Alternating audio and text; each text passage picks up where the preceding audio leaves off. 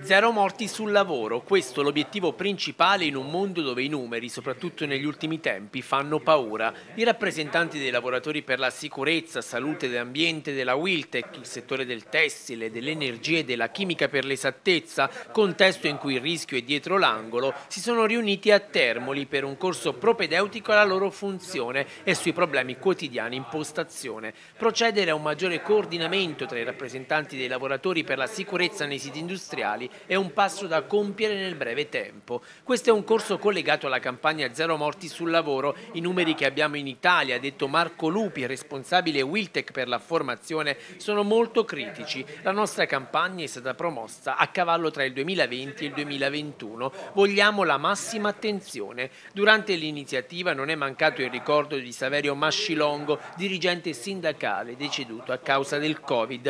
È stata una giornata dove abbiamo messo al centro la sicurezza Brianza, facendo riferimento al polo chimico termolese, ha detto il segretario regionale Wiltec Carlo Scarati, possiamo dire che per il territorio è stato un approdo importante per qualità di stabilimenti e lavoratori, ma noi siamo qui per inseguire il cosiddetto rischio zero.